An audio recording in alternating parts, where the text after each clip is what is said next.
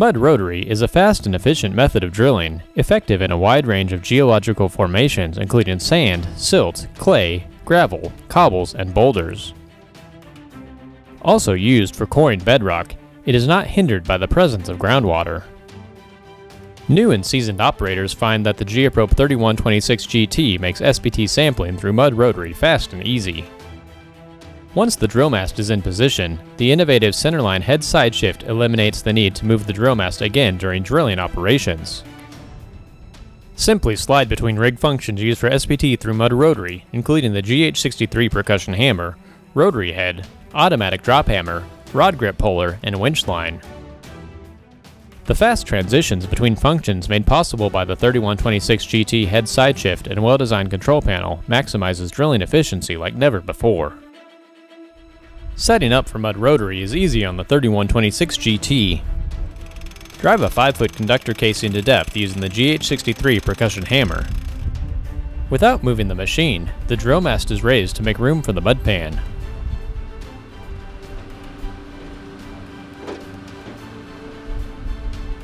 Once the mud pan is in place, extend the drill mast over the conductor casing. Then, position outriggers to stabilize the mast. At this point, the head side shift function has been used to align the rotary head over the casing. Rotate an NWJ drill rod while water is pumped through the rod, sub, and bit to wash cuttings up out of the hole and into the mud pan. Using the control panel, the operator can fine-tune water flow from the pump or activate the available hands-free controls. Once depth is reached, the breakout is used to help break the joint to remove the sub and bit. This makes work safer and easier on the drill crew.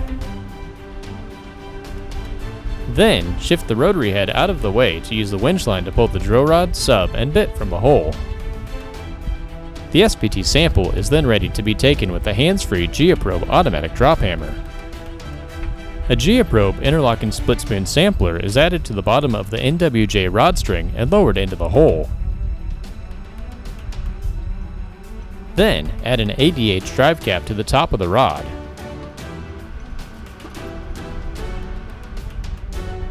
Once in place, side shift the drop hammer over to take the SPT sample.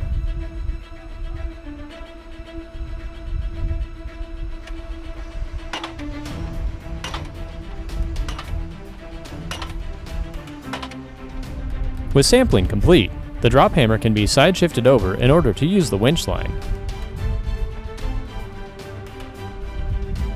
Using the Geoprobe spring-assisted swivel lift cap, pull the rod string and interlocking split spoon from the hole.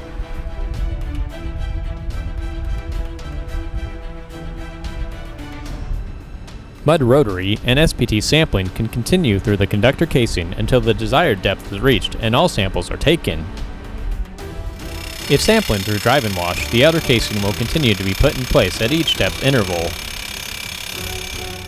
in addition to the positioning controls, head side shift, and well-designed control panel, other 3126 GT features that make it easy for mud rotary include 105 inches of head stroke to help clear the hole with tooling when working over a mud pan, rod grip puller, and 48,000 pounds of head pullback to retrieve conductor casing from the ground. Storage for the drill rods on the side of the unit that makes for easy access, and the ability to use the rear blade of the machine to transport the water tank into place. Newer seasoned operators can easily adapt to using the 3126 GT for fast SPT sampling through mud rotary. This next generation machine is engineered specifically to increase geotechnical field efficiency. With the Geoprobe 3126 GT, you can drill more and make more. For more information on the 3126 GT, visit our website or call us at 785 825 1842.